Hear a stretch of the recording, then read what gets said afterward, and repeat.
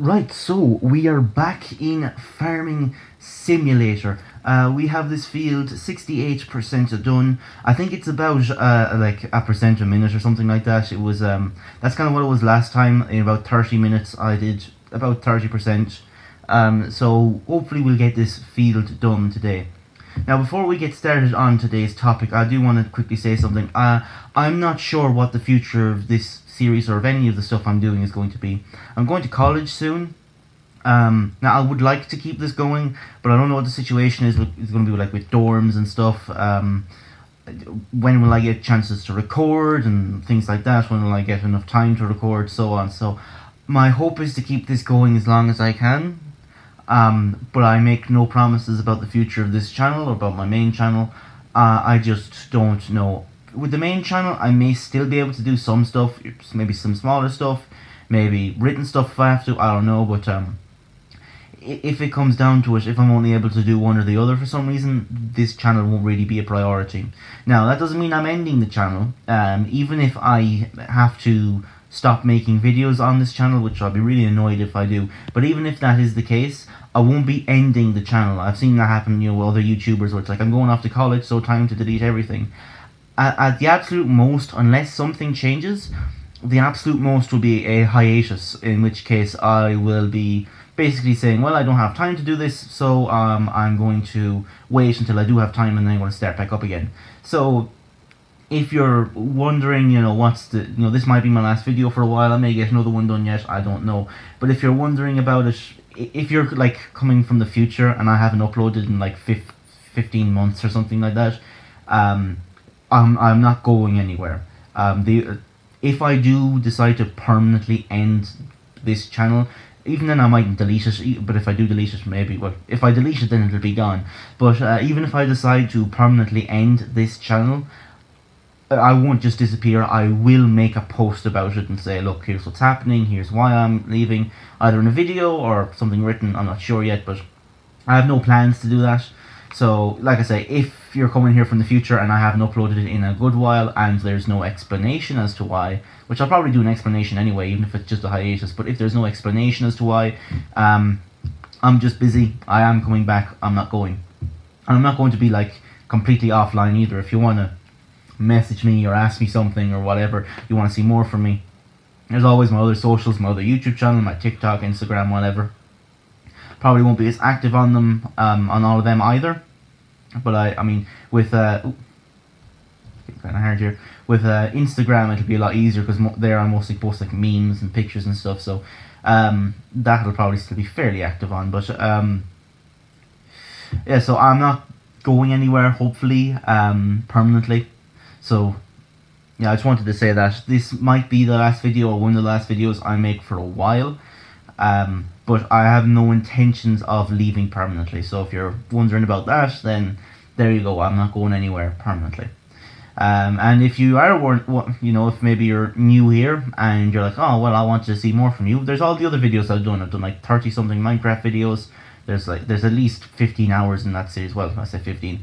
Um, what would it be? I guess maybe 10 hours in that series. This is episode 11 uh, and it's half hour series, so there's at least five and a half hours in this series as well. So you have enough content on this channel already to keep you going for a little while. Um, but yeah, so I just wanted to say that. Now, the main thing, I won't bother going across here again, I'll just go up and down. The main thing I wanted to talk about today, it wasn't the future of this channel, but it's sort of something related to this channel, and that is how should Christians interact with media? i.e. should we watch certain types of films and TV shows, should we read certain types of books, and more relevantly to um, this particular channel, should we play either certain types of video games or even video games in general. So I think we'll start with the video games one because um, obviously that's the, the big one that I think most people would have sort of an opinion about, or at least uh, you get you know people talk about that more. It's uh, I've heard sermons on why video games are evil or whatever, but I haven't really heard that about books and stuff.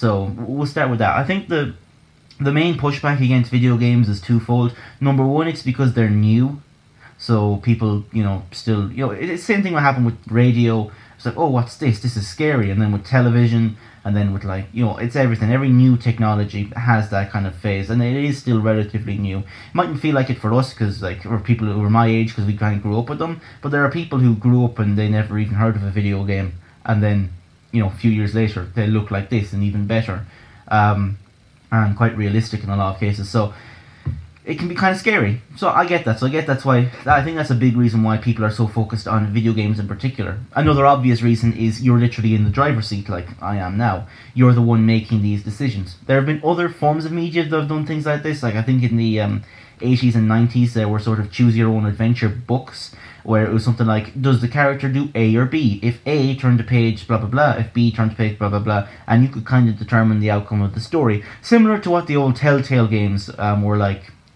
um, so this isn't, you know, th- this sort of thing has happened in the past uh, with other forms of media, but you know, obviously, I mean, to a lot of you, the fact that that ever happened is probably going to be a surprise, which shows just how, you know, how much staying power those forms of media had. So, um, this is kind of the the first thing that's like this, where you decide the story you were as involved as you were. That's had this staying power, and as well as that, you're more involved because in those books, it was like um, it was all predetermined actions.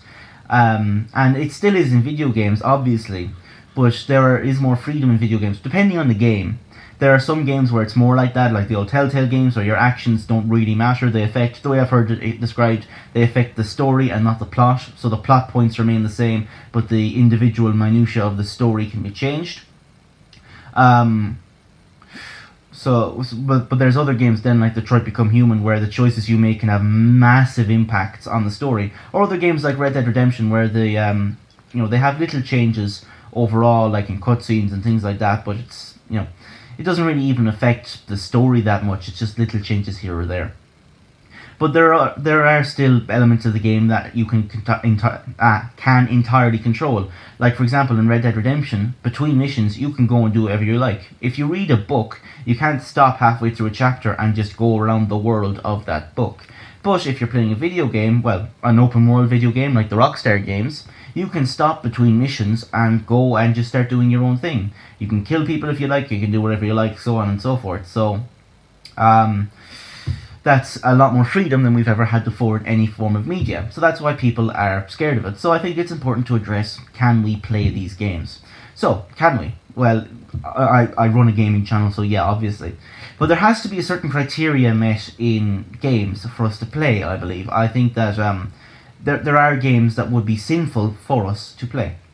So what uh, would the criteria be? Well, first of all, does it promote sin? So this game is Farming Simulator. This is a simulation of farming. It's literally a game that promotes working hard um, in order to get you know the reward. It's so you know you have to put the effort in, you have to put the work in. There's no shortcuts. If you want to plow a field, you have to go in and plow it, or you can pay someone else to plow it. But that'll still take time and it'll take money, and they'll probably make mistakes, which you'll have to fix because the AI isn't great. That's not so much a feature as something that they haven't worked on fully yet. Which the AI gets better every game, which is good. So this is a game that literally promotes hard work. Now, it's not overly realistic, obviously. I mean, I could become like give me a week in this game, like a, a, a real life week. Give me a, a real life week in this game, and if I really try and I really think it through, I can just become a millionaire very easily. Um, but obviously, that's not how it works in real life. So it's not too realistic. Some elements of realism have been sacrificed for the gameplay, which is a good thing. I'm not complaining. I, I'd rather be fun and you know have to suspend disbelief a little bit rather than be overly realistic and maybe like, well, at this stage, why not just get an actual job as a farmer if I'm going to be doing all this stuff, you know? So, um, so there's there's a lot of good to this game, and there's like nothing really that's bad about it outside of personal preference. The only real complaints you could make about this game at this stage would be personal preference. Oh, I don't like farming, so why would I play Farming Simulator, uh, or you know whatever. So it's like, well, it's not a problem with the game. It's just a thing of the game offers something you don't want. Uh, for some people, that makes it a bad game, but for reasonable people, it's just like, oh, okay, fair enough. Um, or something like Minecraft, where it's like you can go out and survive and kill. Well, that explo- that promotes creativity, adventure, that sort of a thing. Some people will get upset and say, "No, you should go out and have real adventures." To which I'd say, "Fella, in this economy, I'm ha- I'm just happy I can go out and eat real food. like, let, let, let's not talk about real adventures. Like, come on." well, I'm, I'm not going to go out and slay a dragon in real life. I might go out and stub my toe.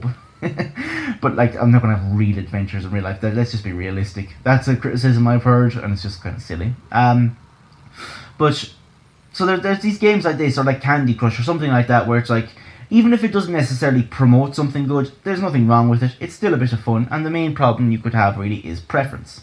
Then there's other games that include violence. And for some people, violence is an, an immediate no. We, we don't like violence, we, we, you know, whatever. Well, I don't think that's a good criteria. You see, I mean, there's plenty of violence in the Bible. There's a story like in Genesis about a woman being raped, and then her brothers go and slaughter, I think it's an entire city, in, in revenge. Right? That's a very, very violent story. So, what's the difference? Well, the difference is promotion and simply showing.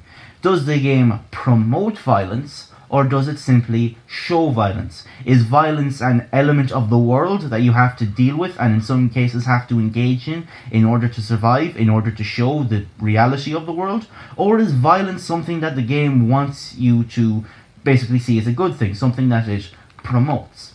So, violence being a necessary element of a game doesn't necessarily make it bad because it uh, could be just showing this is a messed up world where you have to do messed up things. We don't like that you have to do messed up things, but that's you know the way it is. It's basically just because you have to do the violence doesn't mean it's glorifying violence. It's just a way of showing this world is messed up. So let's take a game like Red Dead Redemption. Does that show violence or does that glorify violence? Well, you have to use violence a lot in that game. But all the people who end up using violence and end up sticking to violence, they suffer consequences because of it.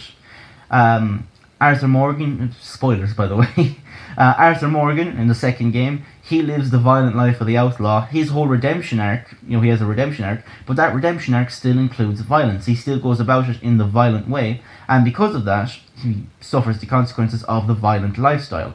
Um, John Marston, he solves his, all of his problems, even throughout his redemption arc, with violence. And because he, you know, he lived a violent life and he used violence to solve his problems, even throughout his redemption arc, he ends up paying the consequences and dying. So even though there's that redemption arc, they still have to, if you will, pay for their sins because they still use violence in all aspects. Then we have another game like GTA. GTA is a game I played and I really enjoyed it. Um, I'm not sure if because I, I like I'm playing Red Dead again. I'm not sure if I'll play GTA again because I don't think it simply depicts all these things. I think it flat out uh, glorifies them because there it, there is the possibility for the main characters to suffer the consequences of their violence. There's obviously the ending where you can choose one of three endings. So there is that possibility for them to, um, for at least two, one of the three of them, um, to suffer the consequences of their violence. But at the same time, they use violence like the main. It's it's complicated. If you know the ending, then you know it. It's sort of complicated. I don't think I'll play that game again because that seems not necessarily to promote violence, but I don't think it condemns violence. It seems kind of fine with violence, um, with like sinful violence and stuff. So. Um, I'm on the fence about GTA. Some of you will think, oh, you can take a hooker into a back alley and kill her, so that, well, I mean, you can if, you want to, but you don't have to. There's no part of the game where that's a mission. That's just like, I mean, the option's there, but like, in this game, I have the option to ram my tractor into a tree. That doesn't mean it's promoting dangerous driving, you know what I mean? So, when it comes to video games, I'm still on the fence about that. Some of you might think that's ridiculous. Some might say, well, of course we shouldn't play it, or, well, maybe, you know, well, of course it's fine, whatever something I need to give a bit more thought to. So I, I, I think I will be avoiding it though, um, unless I can be convinced that it's not uh, violent or that it's it's not sinful. Uh, I think for the time being I will be avoiding it just as a matter of conscience. Uh, if you have your reasons for thinking it's fine, then you know leave them in the comments. Uh, and of course, if you disagree with me, you can always leave it in the comments. Just be respectful. That's the bare minimum, but I do have to ask for it, unfortunately. Um, Another problem with video games that people often bring up is the thing of addiction. Basically, what if you get addicted to video games? This is really the best argument I've heard against playing video games in general, but it's also a poor argument because it's not an argument against video games, it's an argument against addiction. So it's like, oh well, someone will spend 15 hours a day in their room not talking to anyone and playing video games. So It's like, well, yeah, that's a problem. the problem isn't the video game, the problem is that person's behavior. The problem is that person's decisions. The fact that they're simply playing a game isn't wrong. What's wrong is the fact that they're wasting their life on something. If you play it for a bit every now and again just as a hobby, there's nothing wrong with that. But of course, if you get addicted and waste your life playing it, that's a massive problem. But again, that's not an argument against video games. That's an argument against addiction. So if you're not addicted to them, you should be fine. Um, and that's really one of the biggest arguments I've seen is that people will say, oh, well, people spend all their time alone in their room playing video games. It's like, well, yeah, some people do. But that's not the general experience of video games. That's not the um, blanket experience of video games that everybody has. Some people have much better, much more positive experiences with video games. So, I think that the addiction argument is good um, in cases where someone has an addiction uh, to a video game. But in the, as a general argument against video games, I don't think it's a good argument. I don't think it holds up because it can really be applied to anything. What if someone spends 15 hours a day inside in their room reading books and never talking to anyone? That can be just as damaging, depending on the books, of course. But that almost seems nobler because, well, it's a book and not a video game. Um, and people will say, well, reading books has, you know, it has advantages. Also, does playing video games. It can be distressful. It can be uh, de-stressful. I said It can, you know, de-stress you. It can help with hand-eye coordination. There's a few advantages to playing video games. And there's advantages to reading books. So if you're going to use the addiction argument, I think you have to use it in a situation where you're dealing with someone who is actually addicted rather than just as a blanket statement against video games. Because again, the problem in that case is not video games, the problem is addiction. Now, moving on to other forms of media, what about films? Well, I think the same basically goes. Um, don't waste your life just watching films. I mean, if you're a film critic and it's your job, then go for it, but don't waste your, wife, your life just watching films. And also use that criteria of does it show violence or does it promote violence if there's violence in it? Does it show it or does it glorify it? Does it depict it or does it glorify it? If it depicts it, fine. If it glorifies it, not so fine. Um, and maybe don't, you know, there's some stuff that you shouldn't watch that's just crap. Like there's this new thing, uh, you know, the, the, this brain rot, you know, that, children are always watching. If it's Skibidi Toilet or Ohio, Riz Sigma, whatever that, you know, that nonsense. It's like, if it's something that'll rot your brain, something stupid like that, then also don't watch it. I don't necessarily think it's a sin. It is a massive waste of time and you shouldn't be doing it just for your own sake. I wouldn't recommend it. Um, and of course, there's that thing of, you know, films, they're not as interactive as video games. You can't really interact with a film at all. Um, but still, I think there's that criteria that, that has to be met of does this promote and glorify a sinful lifestyle, or does this depict a sinful world in which people do sinful things to survive? Um, and if it match, if it meets the criteria, then I say it's fine. As well as that, there's also uh, books, and people are very, you know, picky about the type of books you read, the type of genre, that sort of a thing. Um, I mostly read theology books. I do like other types of books. I just, you know, I, if I'm going to read something, I want to read theology personally. That's just a personal preference. I have read other things. I read, um, I started reading Game of Thrones, but there was a particular scene that made me very uncomfortable, so I decided to stop reading. Um, that seemed to glorify elements that I was not a big fan of. I won't go into detail, but it, it wasn't great, so I stopped reading. Uh, but I've also read, you know, I've read the Harry Potter series, which I liked. I've read um, books about Irish folklore, and I want to read more books about Irish folklore and Irish legend, that sort of thing, because I find that stuff very interesting. So I'd very much like to um, read up on all of that. But I have read other types of things. But personally, I just choose to mostly read theology books because I just find that sort of thing helpful. I enjoy it.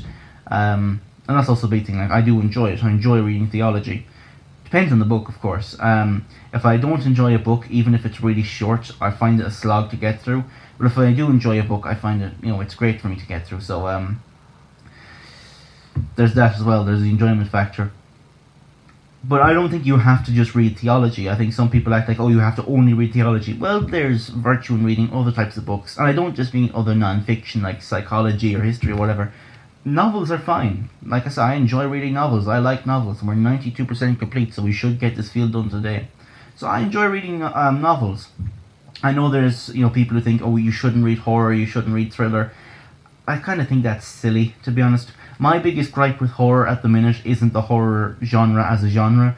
It's just the fact that most of it is just cheap nonsense that's made to make money and that there's very clearly like no passion put into the projects and that's mostly with films so my, my biggest gripe against horror at the moment is the fact that the people making it just don't seem to care um, it's not about the the fact that it is horror so you want to read horror you want to read thriller go for it there's no problem with that we have to remember if we're christians we're indwelt with the holy spirit all right the holy spirit is God. He's not threatened by the things we read in horror books. So I like, again, if the book is promoting a sinful lifestyle, then yeah, maybe give it a pass. But just general horror stuff is, you know, it's not that bad. Um, I mean, I have a friend who was telling me that the people in their church were actually being quite nasty, quite horrible to them because they read like thriller and stuff. And this this person who loves reading and because they read Thriller, basically the people in the church wouldn't be friends with them, which I think is just utterly ridiculous. Uh, it's, it's stupid and childish. Like, I get it, if you yourself don't want to read Thriller, if you yourself have no interest in it, that's fine. But the idea that, like, oh, well, you know, you, you read it, so, I, you know, I'm going to be horrible to you, that's, that's just flat out not Christian. Um, so, and as well as that, that's important, is we need to be mindful of the way other people consume media. Now, if we feel that the other per- that the way someone else is consuming media is sinful, then I think it's you know if we have that level of level of trust and relationship with them, I think it's fine to go up to them and talk about it with them, hear them out, hear why they do it, see what their reason is. If their reason is, look, I've given it a lot of thought, and I genuinely believe that this sort of thing is not sinful, well then that's something. Now, if their reason is, look, I, I, I'm sure it's fine, I don't care I'll read this book or I'll play this video game where I, you know, it promotes all sorts of sin and whatever. I'll, you know, I'll do this and that. It doesn't matter. I don't care. There's a big attitude problem there that has to be dealt with. But if someone says, look, I've given it a lot of thought. I, I know what criteria I'm using. I'm, you know, I'm making sure I'm not doing anything sinful. I do care about honoring God. I do care about all that.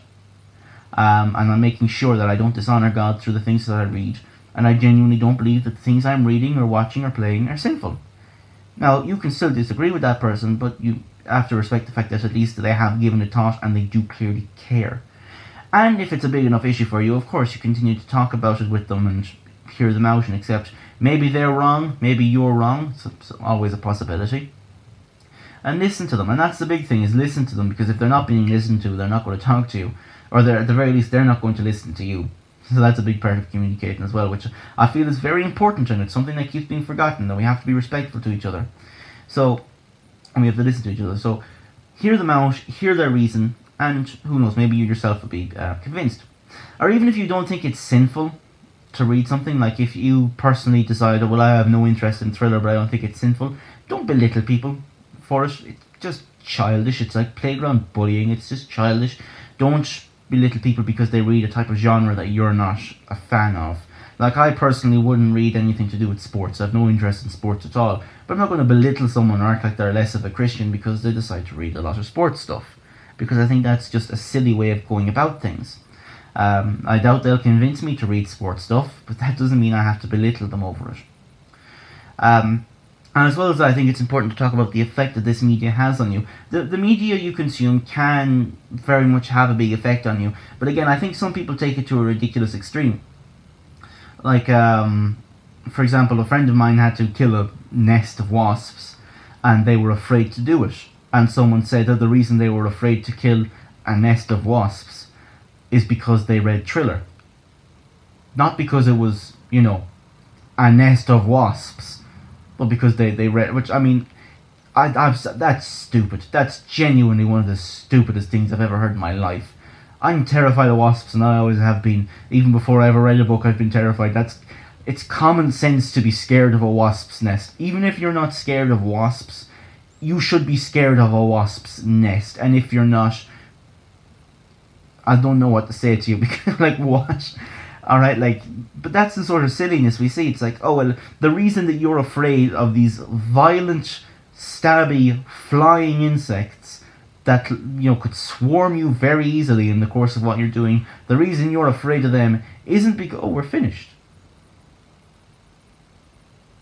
Okay, the reason you're afraid of them isn't because you know of what they are. It's because of the books you read. Ah, that that that makes sense. Might as well finish the contract. So, um, oh wow, okay, and collect. Wow. See now, no hassle, no nothing. We're done. We got it done. That's good. Now, what else will we do? Uh, we could do some more plowing, I guess. Plow field 16 or 29. Um, Oof. Where do we pick our stuff up from again? We pick it up from about here somewhere. Around here. Uh, I'll look for new contracts. Maybe some, like, uh, new contracts. What do we get?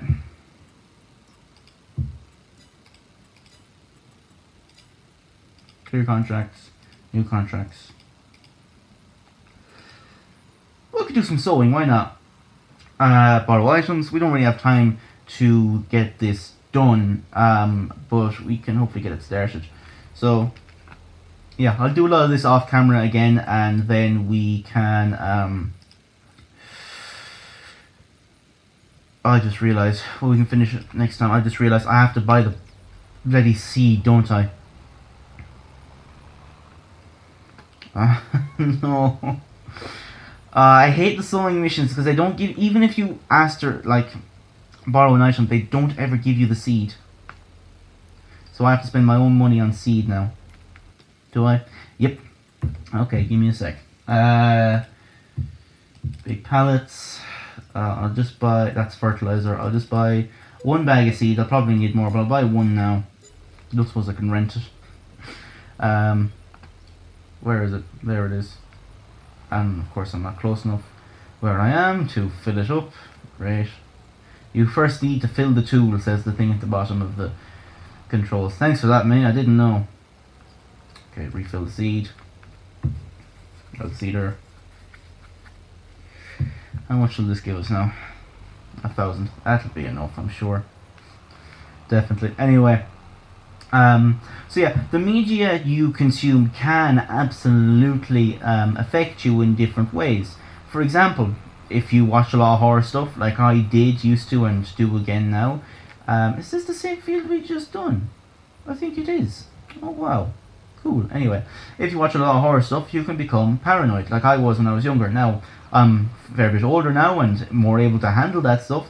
But there was a time when I was too young to be watching that stuff, and it made me very paranoid. Um, or if you're watching stuff with a lot of violence, it can make you maybe a bit more angry or violent or whatever. Um, or if you read more theology books, it can really help you in your walk. I found that a lot, that it's been really, really helpful to me. Um, what am I meant to be planting here? Hold on, before I just start, what am I planting? Um. I was about to start just with a random thing. Okay, we're doing oats. I'm glad I checked that. But yeah, so absolutely, the, the media you consume can absolutely affect you in a, lot of different ways. Well, I need the thingy. Yes, I will. Put it out. Um, it will absolutely affect you, so you gotta be careful of the stuff you read. It's not doing anything, what? Oh, come on. Okay, hopefully it's going to be doing something now, but you gotta be careful of the stuff you read. You gotta make sure you're reading stuff that's decent. Um, but it won't affect you so much that you'll just like you'll go from somehow being not afraid of wasps to now being afraid of wasps or something silly like that. It won't affect you like that. Um, maybe. Which I mean, to be fair, if you're not afraid of wasps, it's about time you become afraid of wasps, if you ask me. So, uh, um, how much are we getting for this job? Five thousand. Okay, so I'll be able to make back the money I lost on the seed. That's good. Uh, so yeah, we, we can't pretend that the stuff you watch doesn't affect you, but it, it won't affect you to that much of a point that it fundamentally changes who you are. Unless, of course, you're unsaved, you read something in theology, there's the gospel there, and God decides to save you. But that's a really good thing that happens, so we won't complain about that. Um, yeah, so just be aware of all those things. Be aware of, am I dishonoring God by consuming this media? How is it changing me, or is it changing me? What's going on with that? That sort of a thing. So uh, you have to be aware of that. And uh, speaking of being aware of things, can I put this up on both sides? No. Okay. I'm going to have to be careful with drilling that now because I don't have that little line on that side. Um, yeah, so just be aware of how does it affect me? Does it honor or dishonor God? That sort of a thing. And really just use a lot of common sense. And you should hopefully be fine. But yeah, that's basically it for from me today. Um, if there's anything else you'd like to see me tackle, any other topics or anything like that, please do be sure to let me know. I'm always very interested in hearing your suggestions. I think I'll do this side now first. Um, just while I'm here. And I can put the thing down.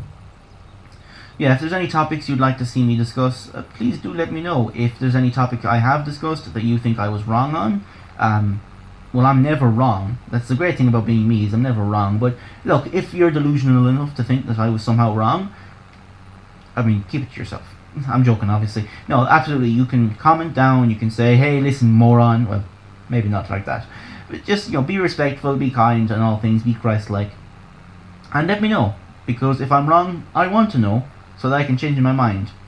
But if you're disrespectful, if you act like a git, if you're not Christian about it, if you act in a non-Christian way about it, well then I'm not going to respond to you. So, just a little warning there. Please just do the bare minimum. Speaking of bare minimum, is it even leaving a thing for me? Just about, I think. It better be. okay. I can barely see that. Sure, look, it'll be grand.